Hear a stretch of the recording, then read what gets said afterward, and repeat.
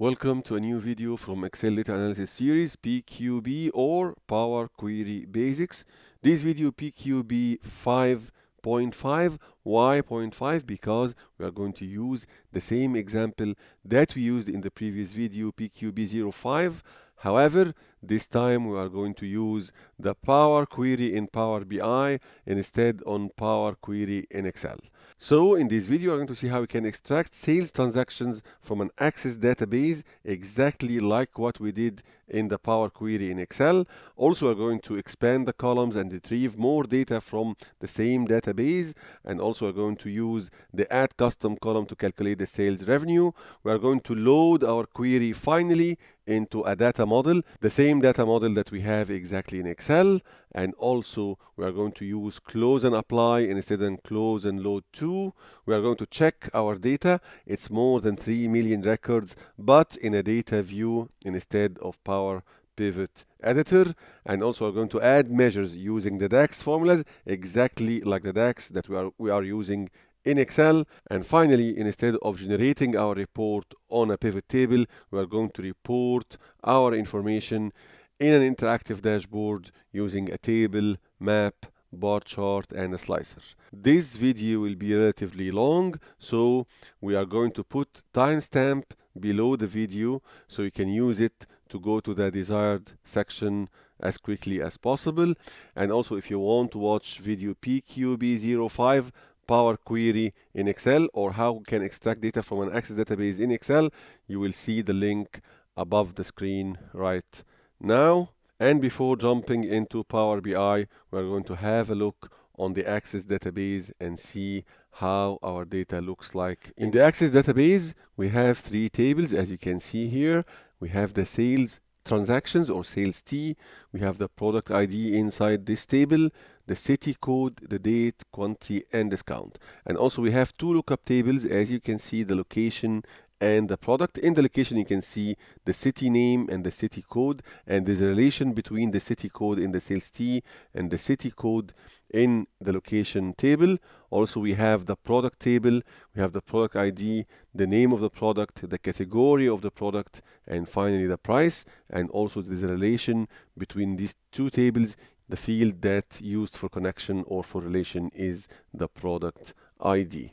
If you want to follow along while watching the video, or even if you want to practice after watching the video, please go down in the description section. You will find the link. Please use it to download the Excel file and also use the subscribe button and the bell icon so you get notified with the new videos. So here we go. This is the Power BI desktop. You can download this application from Microsoft website or you can download it from Microsoft Store and this is much better because the new updates will go directly to your application. Um, whatever we are going to use, it will be uh, only on the Power BI desktop. However, if you look here in the screen, this is the screen that prompts whenever you open the Power BI desktop. You will find that it asks you to sign in when you sign in will you will have an access to the cloud or the BI services and then you can share your work with your colleagues. And also you can use the uh, free trial. It's for 60 days. If you use the free trial it will ask you to subscribe with a business email and then you can start use the feature of sharing and creating dashboards on the BI services or BI Pro for us, we are going to use only the Power BI desktop for this video. So we can start from here. We can start to hit the get data uh, button or we can just close this and start to work on the normal uh, window. And this is the normal window. Whenever you open a, a blank document, you will see a window like this. From home ribbon, you can go directly to get data and get data is the Power Query for the Power BI. So I can just hit get data and I need to find the uh, database or from database.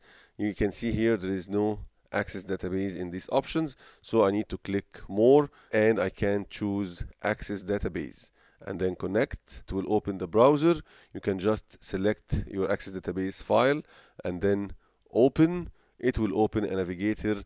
I have only three tables location product and sales T. I'm concerned with only sales T.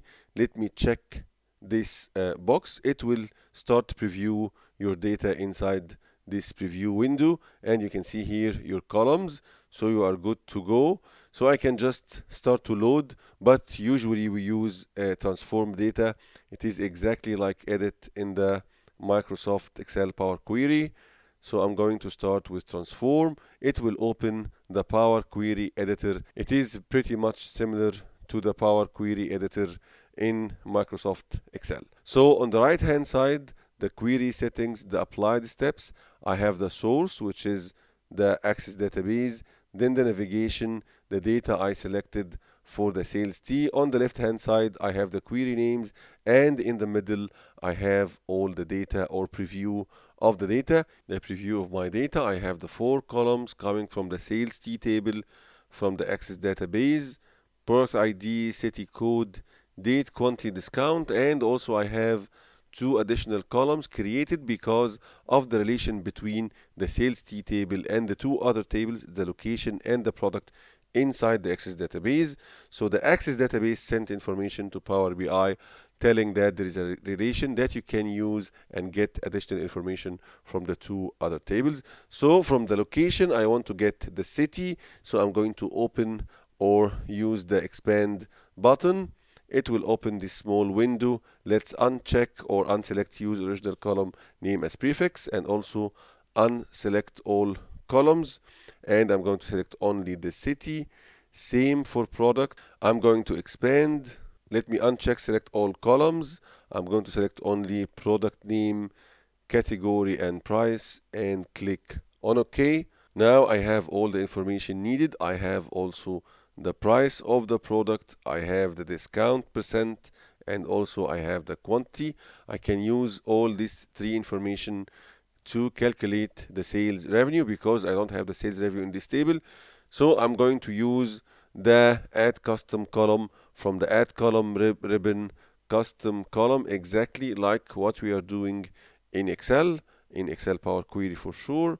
So I'm going to use this window to start with giving a name to this field. We'll call it sales value. And then going below the new column name to the custom column formula section so I can start to select my fields and do my formula. I will start with the quantity. I can select and double click. It will jump directly to the left hand side. And then I'm going to multiply by the price quantity times price. And also I need to multiply by 1 minus discount open bracket 1 minus. And then I have the discount. I can either select the insert here or just double click and then close the bracket. Whenever I click on OK it will create the new column. However I have an issue uh, a small issue with the date type because you can see here it's ABC and 1 to 3 meaning that it is any. The Power Query Editor see it as any and you can check here also from home. You can see the data type is any. I want to change this to currency let's say. So I'm going to select the drop down. I can select uh, currency here and then price 1.2 meaning decimal number it's okay. Or ABC ABC ABC meaning text for the three columns for category product name and city that's fine. Discount I think it's proper to use a percentage that's fine. I can just click on the icon here and change to percentage.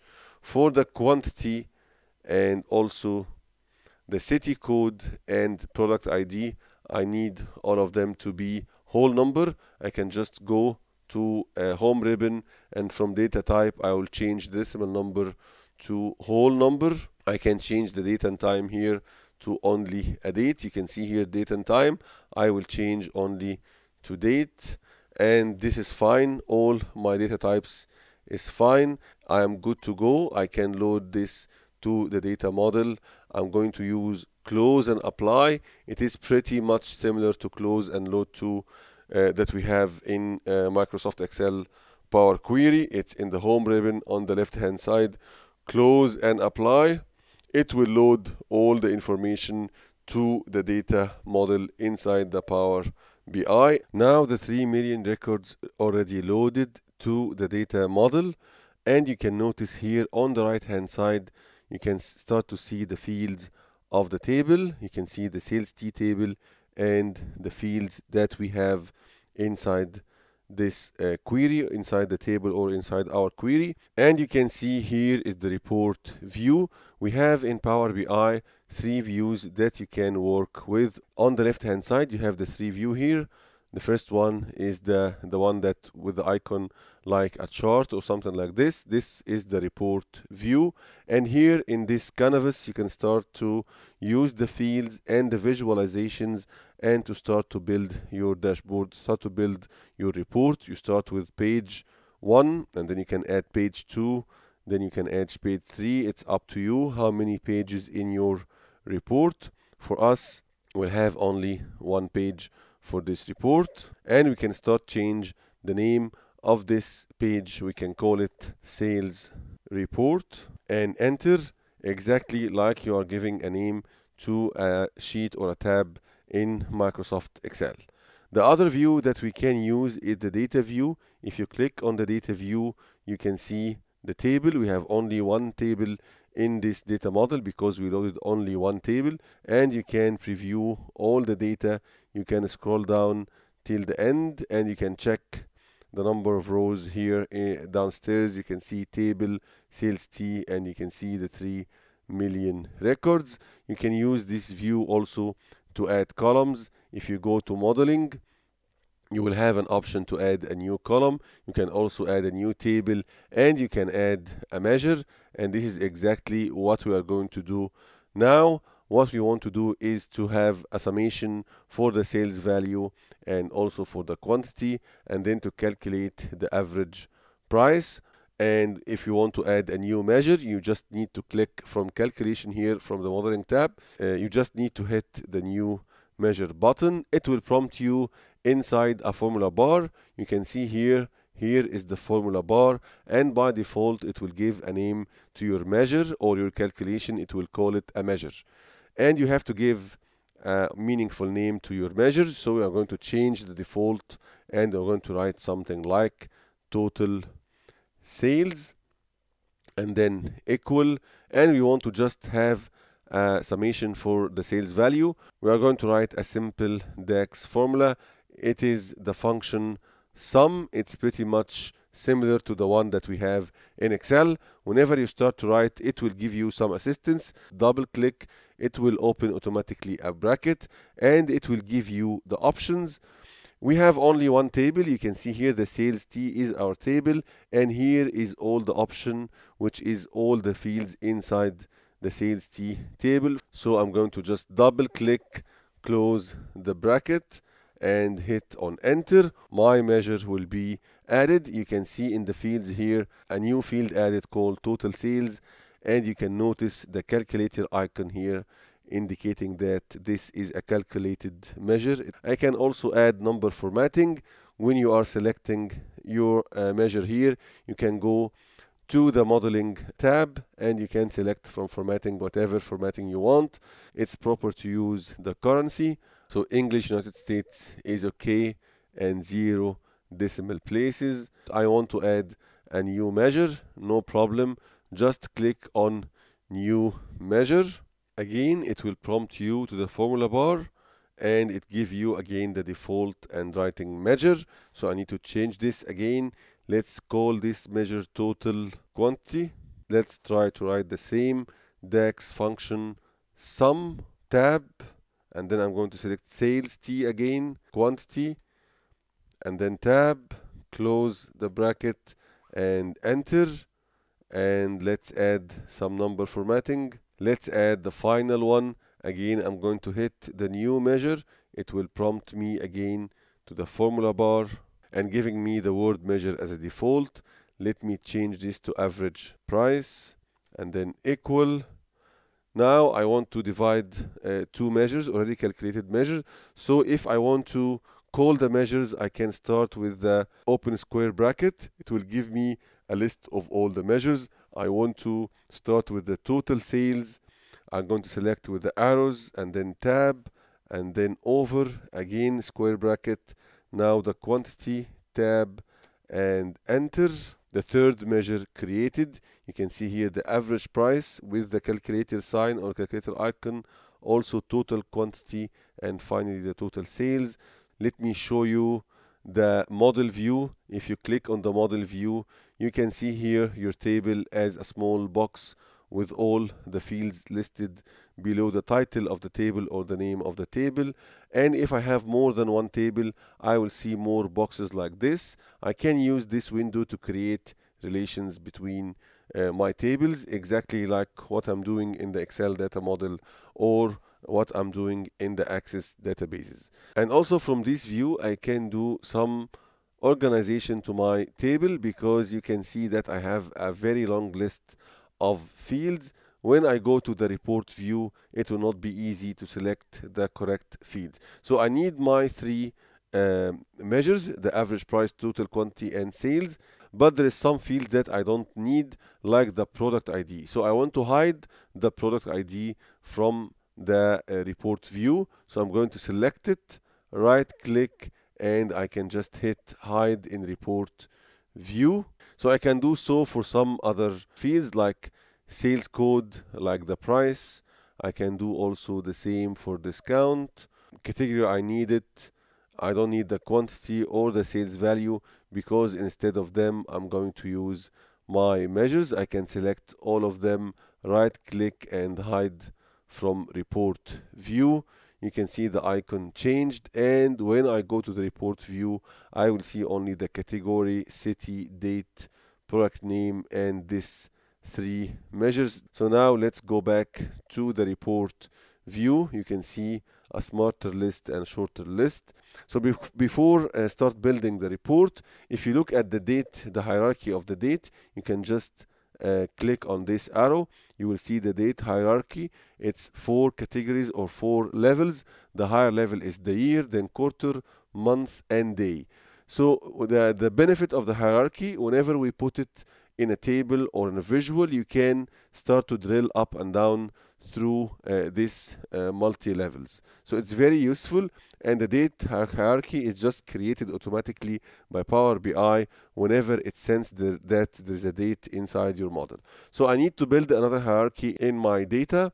So I have the category and the product name can find the relation between them because I have uh, like four category and for each category there is specific number of product names related to each category. So I can start to build a hierarchy between these two fields. So I can start by selecting the category. I can use these three dots and it will open a small menu and I can select new hierarchy. You can see here a new hierarchy created. By default it's called category hierarchy and the first level in the hierarchy is the category field. I want to add another field so I'm going to product name.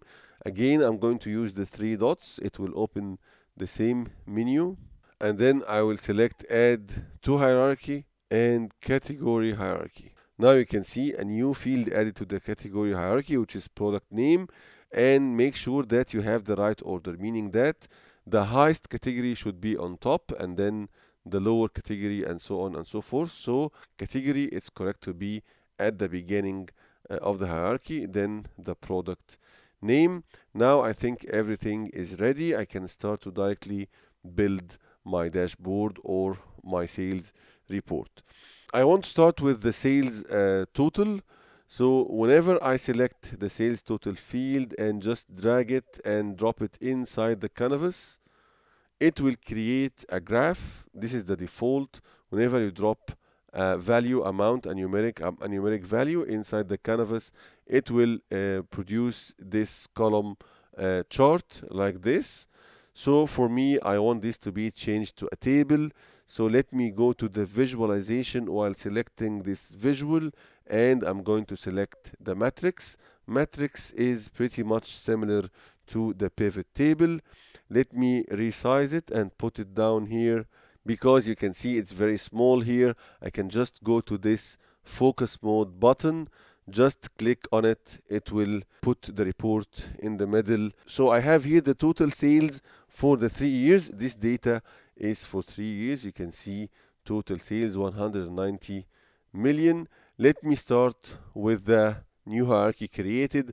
I will take the category hierarchy and just drop it inside here you will see it will start with the highest level of the um, hierarchy which is the category accessories bikes clothing and components. I want to drill it down.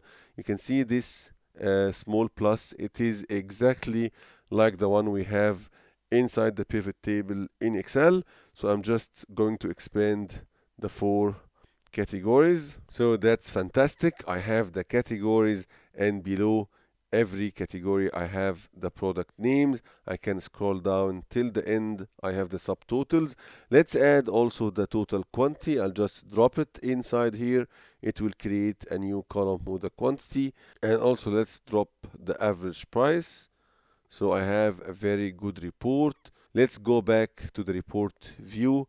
I think we can just do a quick resizing now we are ready to continue our report. So now I have also a city. If you look at the city inside the model view you can see the city column. If you just uh, use the filter to check you have the city names. I have seven city names all inside Egypt. If you go back to the report view and you just take the city just select the city and drop it in the canvas can't imagine what Power BI will do automatically.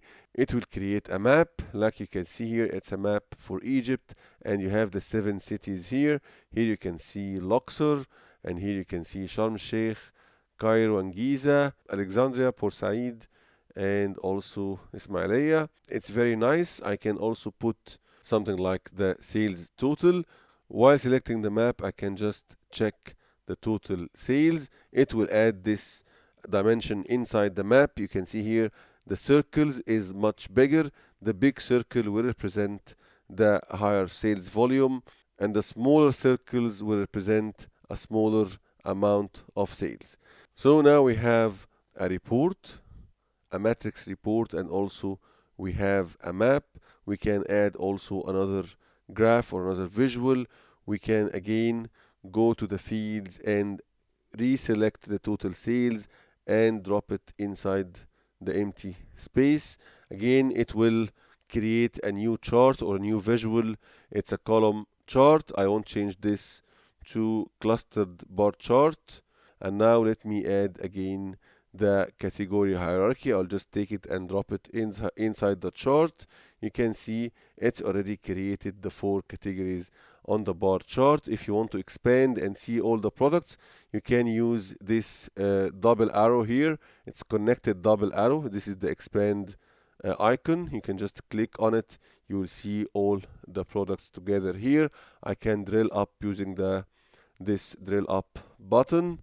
It's now back. If I want to drill on uh, only one category I can just click on the uh, turn on drill down it will have uh, this black circle around the arrow and whenever I click on any of the categories it will drill down to the category only. So I selected the bikes and you can see now it's drilled down to the cargo bikes mountain bikes touring bikes and road bikes. And you will notice also uh, as you can see here the table is filtered to bikes only. If I want to go the level up back the report will come back. I can also filter the chart and the table from the map. If I selected Alexandria, you will see only uh, all the table will change to Alexandria and the same for chart. You can see the highlighted space is the bikes sold in Alexandria. I can just select again like I am unchecking the filter. I can also do filtration. I can just select the mountain bike from this uh, report and all the other charts all the other visuals will be filtered according to my selection. Another click it will uncheck the filter or unselect the filter. I can also add a title to this report so let's add a quick title. Uh, from the home ribbon I can go to text box. It will open a text box. This company called AAA bikes and I'm doing a sales report this is a good title. I can just select all. I can use a bigger font actually. Let's increase it to 40 that's good. I can use italic. I can also use the center. I can just resize the text box. Let's put it on top. I can also add some background. While selecting the text box I can go to visualization here. I can choose the background and I can choose a color like the light gray like this one I have here by region or by city and also I have here by category and here I can check also the individual uh, products. I need also some controls for this report working with the time because I have inside this report three years together. So the proper visualization for this will be a slicer and here is the icon for the slicer. You can see it here. I can just select any empty place inside my report and just click on the slicer icon. It will create an empty a slicer like this I can go in the date hierarchy and select only the year the slicer for year uh, created but it is not very good like this I want to change the type of this slicer I can just uh, select the drop down and let me select list it will create a list with the years but actually it is in a vertical direction. I want them to be on a horizontal direction because I'm planning to insert this slicer in here in this small empty space. So let's go to the visualization area. Let's select this brush and we can go directly to general and from general I can see the orientation of the slicer. I can change to horizontal.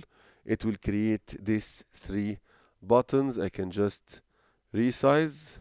And now we have the slicer. For the three years I can select 2016 the entire report will be filtered for 2016 I can just select bikes.